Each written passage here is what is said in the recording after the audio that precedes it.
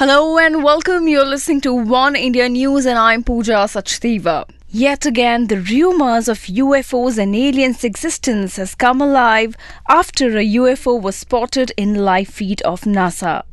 NASA has cut the live feed of a scenario as seen from International Space Station after a UFO was captured on the camera. An unidentified diamond-shaped object was seen flying closer to International Space Station after which NASA video feed was cut and went to a blue screen. However, the space agency has cleared the air that it did not intentionally cut the video feed but said that such occurrences have occurred in the past owing to technical problem and they lost transmission. Further investigation is going on to unravel the mystery. UFO hunters are quite sure about NASA knowing the UFO and mystery around them, but still they hide it from the people on Earth.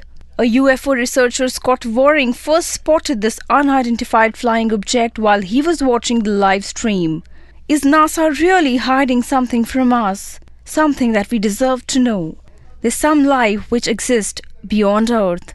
That's all for now, but don't forget to click that button to subscribe us for more such news. You were watching One India News. Take care.